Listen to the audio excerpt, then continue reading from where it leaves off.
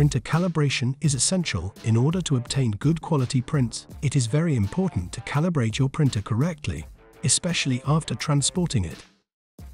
We also recommend carrying out this process frequently as part of the printer's regular maintenance.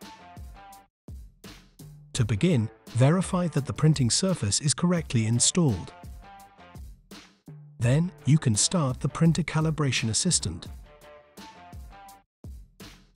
First, wait until the print surface reaches the indicated temperature. Before each calibration and print, the printer will perform a cleaning procedure to ensure that there is no filament residue in the nozzle tip, ensuring an optimal measurement. Each of the hotends will carry out a series of measurements in order to establish the print surface position. Afterwards, through the printer calibration assistant on the screen, you will be guided through the necessary adjustments needed to complete the print surface leveling. Turn the two front knobs according to the instructions appearing on the screen.